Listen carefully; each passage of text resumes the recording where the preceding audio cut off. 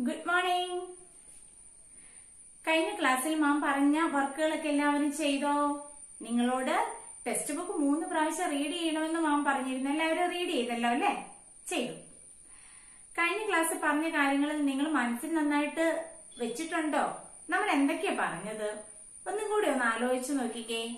സ്വരചിഹ്നങ്ങളെ കുറിച്ചാണ് നമ്മൾ സംസാരിച്ചത് അല്ലേ? പഠിച്ചത്. ഇപ്പൊ നമ്മൾ എന്തൊക്കെ പറഞ്ഞു അതിനകത്ത്? ആ ആ തൊട്ട് എറു വരെയുള്ള ചിഹ്നരൂപങ്ങൾ വ്യഞ്ജനാക്ഷരങ്ങൾ എഴുതിയതിനു ശേഷമാണ് എഴുതേണ്ടത് അല്ലേ? അതായത് ആദ്യം അക്ഷരം അതിനു ശേഷമാണ് അത് കഴിഞ്ഞിട്ടാണ് നമ്മൾ ചിഹ്നം ഉപയോഗിക്കേണ്ടത്. അങ്ങനെയല്ലേ നമ്മൾ കഴിഞ്ഞ ക്ലാസ്സിൽ മനസ്സിലാക്കിയത്? അതെ. അത് കഴിഞ്ഞ് വരുന്ന എ എ ഐ ഈ മൂന്ന് അക്ഷരങ്ങളുടെ ചിഹ്നരൂപങ്ങൾ എവിടെയായിരുന്നു നമ്മൾ പറഞ്ഞേ? ആദ്യം ചിഹ്നരൂപം എഴുതിയതിനു ശേഷമാണ് അക്ഷരം എഴുതേണ്ടത്. അതായത് അക്ഷരങ്ങൾക്ക് തൊട്ട് മുൻപിൽ ചിഹ്നരൂപങ്ങൾ എഴുതുന്ന മൂന്ന് ചിഹ്നരൂപങ്ങളാണ് എ എ ഐ. കഴിഞ്ഞ ക്ലാസ്സിൽ നമ്മൾ പ്രധാനമായിട്ടും പഠിച്ചത് ഒ ഓ എന്ന രണ്ട് ചിഹ്നരൂപങ്ങളാണ്. ഏതൊക്കെയാണ്? ഓ ഓ ഓയുടെ ചിഹ്നരൂപം നമ്മൾ പറഞ്ഞു ഏതായിരുന്നു? പുള്ളിയും ദീർഘവും. ഓ ഓയുടെ ചിഹ്നരൂപം ചുറ്റിക്കെട്ട് പുള്ളിയും ദീർഘവും. നമ്മൾ കഴിഞ്ഞ ക്ലാസ്സിൽ ക എന്ന അക്ഷരത്തിനാണ് നമ്മൾ ചിഹ്നം ചേർത്ത് എഴുതിയത് അല്ലേ? അപ്പൊ നമ്മൾ ഇതിന് ക എന്ന ചിഹ്നം ചേർക്കുമ്പോ എങ്ങനെ വരും? കോ എന്ന് വരും. ഇതോ? കോ. ശരിയല്ലേ? ഇപ്പോൾ നമ്മൾ പറഞ്ഞു ഇവിടെ സ്ഥലം ഇട്ട എന്തിനായിരുന്നു? ഏത് വെഞ്ചുറേഷനാണ് നമ്മൾ അവിടെ ഉപയോഗിക്കുന്നത്?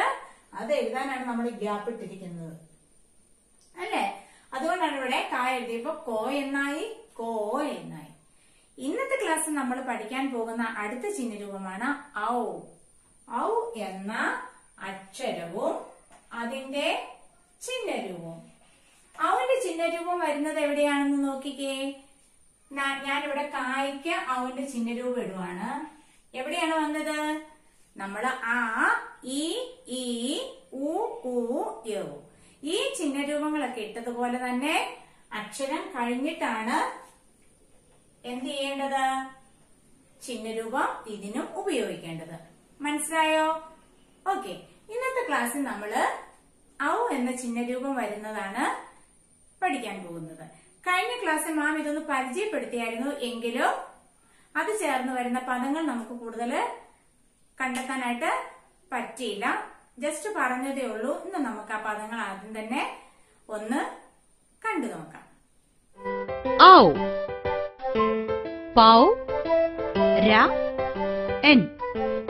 പൗരൻ. മൗനം. കൗ മാ രം കൗമാരം. എല്ലാവരും ഔവിന്റെ ചിഹ്നം ചേർന്ന് വരുന്ന പദങ്ങൾ കണ്ടല്ലോ അല്ലെ?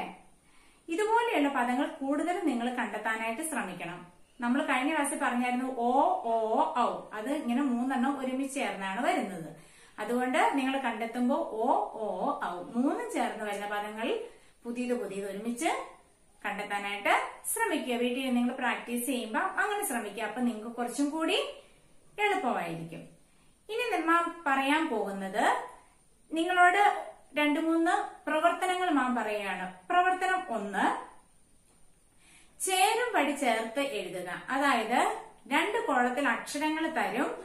ആ അക്ഷരങ്ങൾ ചേർത്ത് നിങ്ങൾ വാക്കുകൾ കറക്റ്റ് ചെയ്യണം. രണ്ട് കോളത്തിൽ കോളത്തിലെയും അക്ഷരങ്ങൾ ചേർത്ത് നിങ്ങൾ ആ അക്ഷരങ്ങളെ യോജിക്കുന്ന രീതിയിൽ അടുത്ത കോളത്തിലേക്ക് കറക്റ്റ് ആയിട്ട് നിങ്ങൾ എഴുതണം. അതാണ് ആദ്യത്തെ പ്രവർത്തനം. ചേരും പഠിച്ചേർത്ത് ചേർത്ത് എഴുതുക. ഏ കോ പൗ ത തോ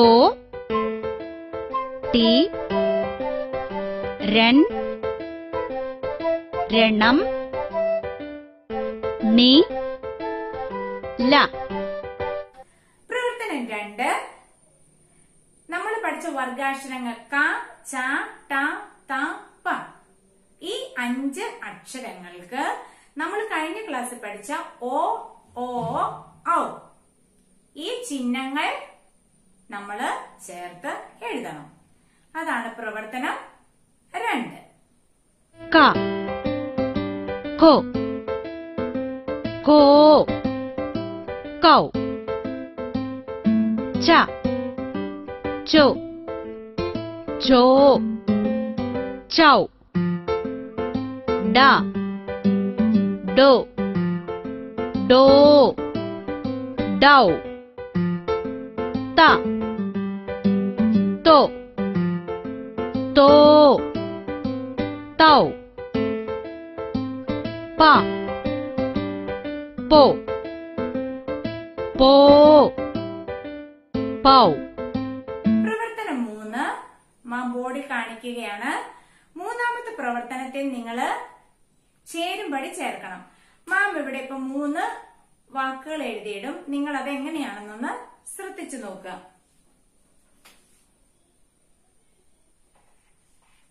പ്രവർത്തനം മൂന്ന് ഓ ഓ ഔ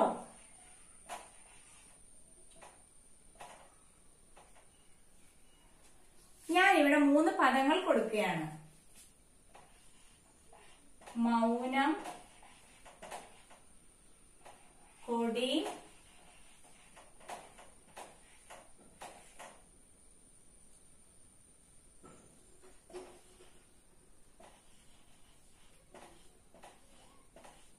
കോടാലി. മനസ്സിലായല്ലോ? ഇതനുസരിച്ച് നിങ്ങൾ ഇതിനെ ഒന്ന് വരച്ചു ചേർത്തേ കറക്റ്റ് ആയിട്ടൊന്ന് മാച്ച് ചെയ്തേ. ഓ എന്ന അക്ഷരത്തിന് മാച്ച് ചെയ്യുന്നത് ഇതിനകത്ത് ഏത് ചിഹ്നരൂപമാണ് ഓയിലേക്ക് പോകേണ്ടതെന്ന് ആദ്യം നിങ്ങൾ ശ്രദ്ധിക്കണം. ഓ എന്ന അക്ഷരത്തിന്റെ ചിഹ്നരൂപം എവിടെയാണ്? ഏതാണ് സ്റ്റാർട്ട് ചെയ്യുന്നത്? ഇതാണല്ലേ? ആണല്ലോ പുള്ളിയും ദീർഘവുമാണ് വന്നിരിക്കുന്നത്. ഓക്കെ അപ്പോൾ ഓയിൽ നിന്ന് നേരെ ഇങ്ങോട്ടേക്ക് വരും. അടുത്തത് ഓ ഓയുടെ ചിഹ്നരൂപം ചുറ്റിക്കെട്ട് പുള്ളിയും ദീർഘവും. കോടാലി. അടുത്തത് ഔ എന്ന അക്ഷരത്തിന്റെ ചിഹ്നരൂപം മൗനം. കണ്ടോ? അപ്പൊ ഈ അക്ഷരങ്ങൾ നിങ്ങൾ ഇങ്ങനെ എഴുതിയിടുക അതിന്റെ ചിഹ്നരൂപങ്ങൾ അങ്ങോട്ടും ഇങ്ങോട്ടും ഒക്കെ മാറ്റിയിട്ടിട്ട് മാച്ച് ചെയ്യാനായിട്ട് ശ്രമിക്കുക. അപ്പൊ നിങ്ങൾക്ക് അത് കൂടുതൽ നന്നായിട്ട് മനസ്സിലാക്കാൻ പറ്റും. അതായത് ചിഹ്നങ്ങൾ തമ്മിലുള്ള വ്യത്യാസം മനസ്സിലാക്കാനുള്ള ഒരു എളുപ്പ വഴിയാണ് ഇത്. അതുകൊണ്ട് നിങ്ങൾ ഈ രീതിയിൽ പ്രവർത്തനം ചെയ്തു നോക്കണം. പ്രവർത്തനം നാല് പൂരിപ്പിക്കുക. Dash T. ഏത് അക്ഷരമാണ് ഇവിടെ ഏത് ചിഹ്നം ചേർന്ന് വരുന്ന അക്ഷരമാണ് ഇവിടെ നമുക്ക് ഫില്ല് ചെയ്യാൻ പറ്റുന്നത് പൂരിപ്പിക്കാൻ പറ്റുന്നത്? മാച്ച് ചെയ്യുന്ന നിങ്ങൾ നോക്കിയേ? പൊടി എന്നെഴുതിയാലും കൊടി എന്നെഴുതിയാലും ശരിയാണ്. അല്ലേ? നമ്മൾ കുറെ വേർഡ്സ് കഴിഞ്ഞ ക്ലാസ് നമ്മൾ കണ്ടതാണ്. നിങ്ങൾ വായിച്ചും പഠിച്ചതാണ്. അപ്പോൾ അത് വെച്ചിട്ട് നിങ്ങൾ നോക്കിക്കേ. വേണമെങ്കിൽ നമുക്ക് പോയെഴുതാം. എഴുതാം അല്ലെങ്കിൽ നമുക്ക് കോ എഴുതാം. രണ്ട് എഴുതിയാൽ ആൻസർ ശരിയാണ്. കൊടി. ശരിയായില്ലേ? അടുത്തത് രണ്ടാമത്തെ ഡാഷ് ഏതെഴുതാം കോ ടാ ലി. ഡാഷ് മാരം ഏതാ? കൗ. കൗമാരം. ഇവിടെ ഡാഷ് റ്